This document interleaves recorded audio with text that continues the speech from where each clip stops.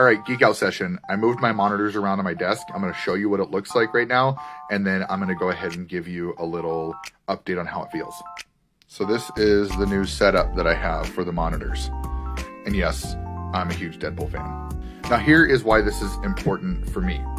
I was starting to have some pains kind of right around the collarbone area and also towards the back corners of my neck and a chiropractor friend of mine told me that it could be that I'm turning my neck too far and holding it there to look at the other screens. I always thought it was better to move your neck side to side instead of up and down.